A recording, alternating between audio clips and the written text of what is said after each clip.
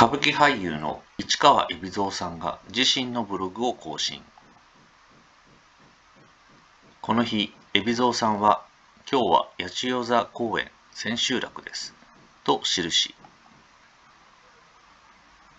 山子の空気は本当に美味しい。自然と感謝の気持ちにありがとう。と綴っていた。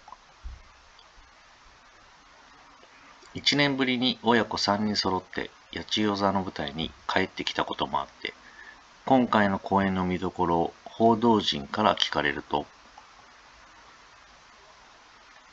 長男勸玄君は僕が苦戦していたのが買いぐりとか音が聞けないところとかでその買いぐりをすごく練習して大変だったことと明かし